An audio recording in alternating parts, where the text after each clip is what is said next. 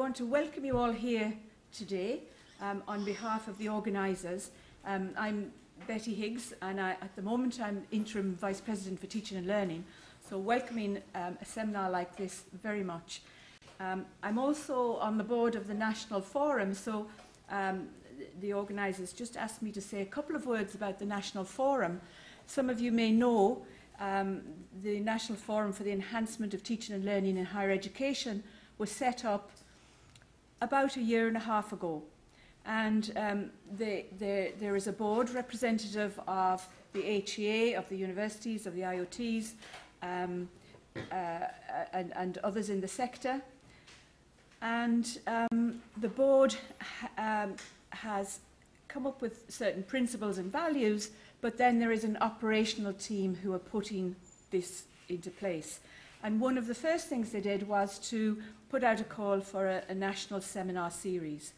And um, Darius and colleagues, uh, Darius Whelan and colleagues, put in a proposal to have this uh, uh, seminar workshop and was successful.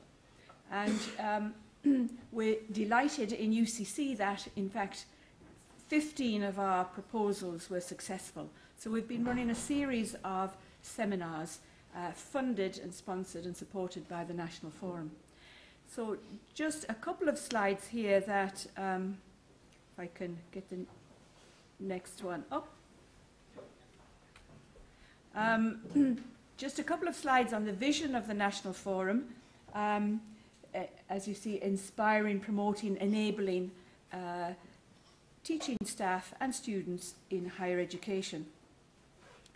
And the theme that um, has been chosen as what we call an, an enhancement theme uh, for this year and uh, the, the coming 12 months is transitioning. So um, initially uh, people thought, okay, that means coming from second level into third level. Um, but broadening that out, there are many things that we do in higher education that are considered transitioning. So it could be students transitioning into postgraduate but it, it also includes higher education transitioning into a digital culture. And this is where uh, uh, Darius Whelan's proposal um, won out, in that this is, we're thinking about how do we transition into a digital culture and um, all, all that's involved in that. And trying to help and enable and promote uh, the teaching staff and students too. Um, so the National Forum is funded by the Higher Education Authority.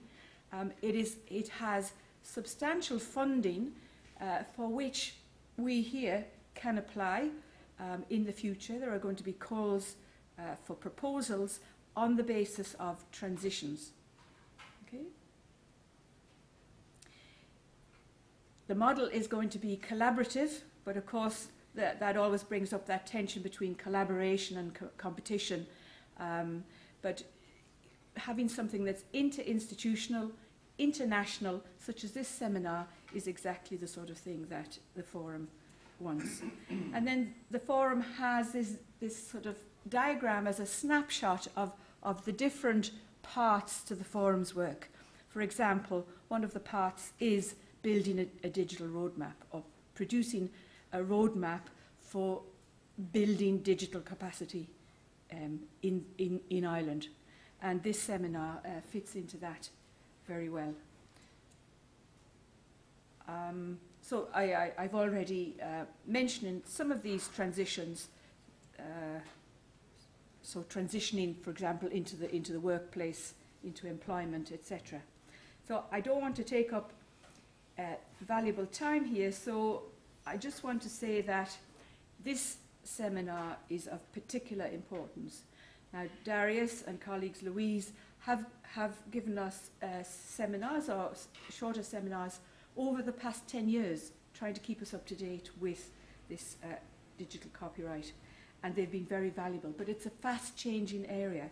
And we're never quite sure when we're putting up a presentation onto Blackboard or um, if the students are downloading it. We're never quite sure, um, are, are we in breach of anything? Um, and then what happens when someone uh, wants you to put this presentation and do it on a webinar, or they want to put it on YouTube, or there are people within the, um, the piece of video or whatever that maybe haven't given permission. So all of these areas are things that we're dealing with more and more.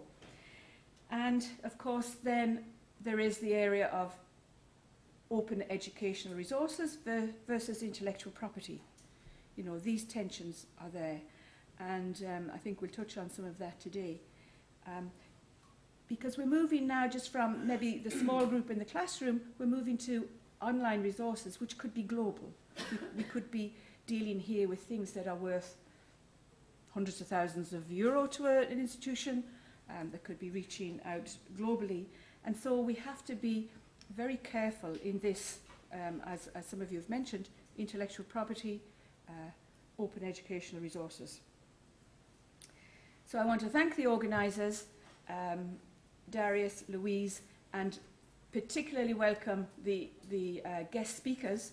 Um, so Jason uh, from JISC Legal, um, a fantastic, uh, JISC and JISC Legal, fantastic uh, resources and help um, in, in, in the work they do. And I know the National Forum um, have been uh, talking to JISC Legal and, uh, you know, benefiting from some of their resources. And then um, Eoin from Trinity College Dublin, you're welcome to come and share your expertise with us. So if I pass over now to Darius, well, thank you very much.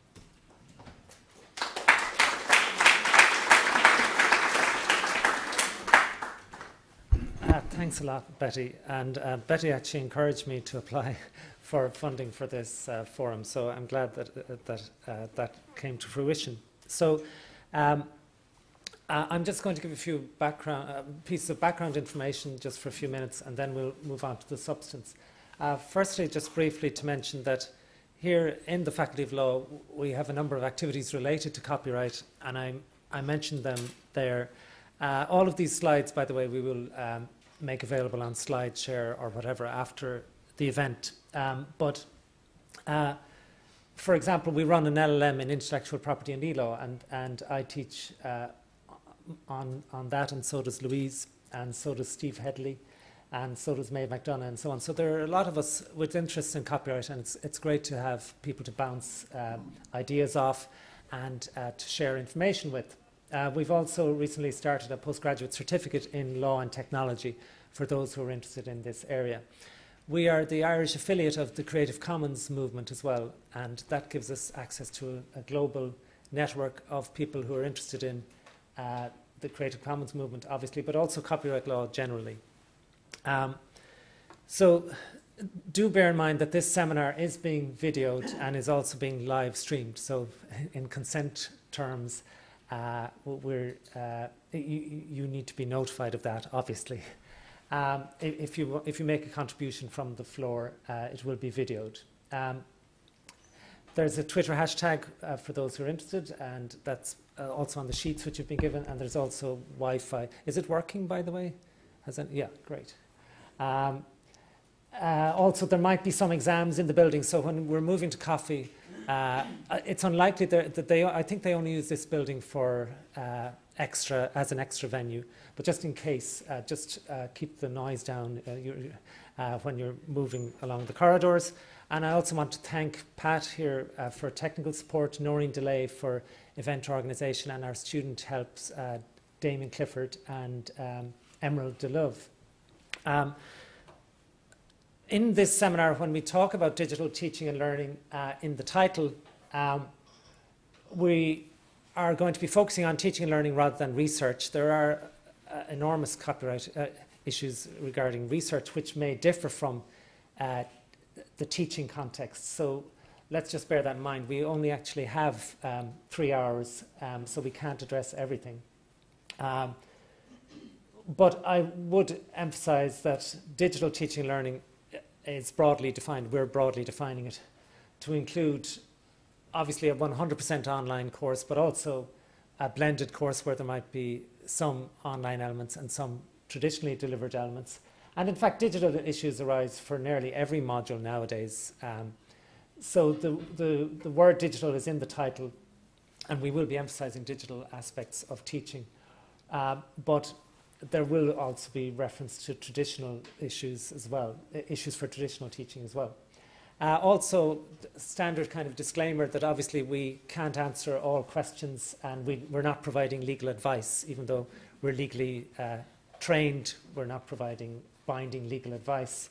And we will actually, there will be disagreement amongst copyright lawyers about aspects of copyright law. So if you're looking for short answers, you won't necessarily uh, get them either from us or from your, your friendly neighbourhood lawyer either. Um, the learning outcomes were on the uh, documentation, um, so I won't uh, re read through them fully, but I just wanted to show that, um, th th there are varied learning outcomes and, and that um, th what I mean is the learning outcomes of this seminar. So that, for example, uh, one of the things we want to explain to you is how to find material which can be used safely. Um, so that's, that's quite different from teaching you the law, so to speak, or explaining the law to you. Uh, so I will talk briefly about how, how, to find Creative Commons images, for example, which are generally relatively safe. Um, uh, also, um, another of the aims which you might not think of is that in learning about copyright law, you, you, one, one of the uses of that is that you can actually explain it to your students as well, um, because they need to be aware of it just as much as you need to be aware of it in your capacity as, as a teacher, if that is your role. The schedule, we didn't distribute a schedule because uh, I foolishly thought this is going to be a low-key seminar and it won't take much work given that it's exam time, but it snowballed. Uh, but uh, so uh, here's the seminar if you want to jot it down if you're obsessed about time. Uh, will we stick to this? We'll see. But uh, Louise is going to speak from 2.15-ish. Uh, we, and we'll allow time for Q&A, uh, won't you? Uh, then I will speak on sub some substantive issues as opposed to these kind of housekeeping issues at 2.50. We will then be distributing a task, which I have waiting under the table there, which you will discuss amongst yourselves. We'll break you into informal groups. You, you will choose yourself uh, the size of the groups. Um, and uh, it's just to practice what we're supposed to be preaching uh, in terms of active engagement and active learning and so on. Um, so the task con consists of a kind of a hypothetical involving Mary. Uh, I, uh, I was very imaginative in coming up with the name. And Mary has some issues regarding copyright law in her teaching.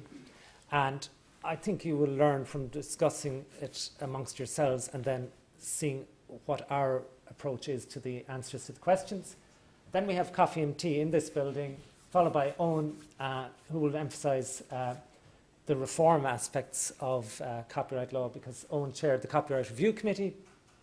And then Jason, who will give us the UK uh, perspective. Uh, so without further ado, then I'll, I'll, hand over to Louise, who comes next, and I'll see are the slides waiting. Uh, has anybody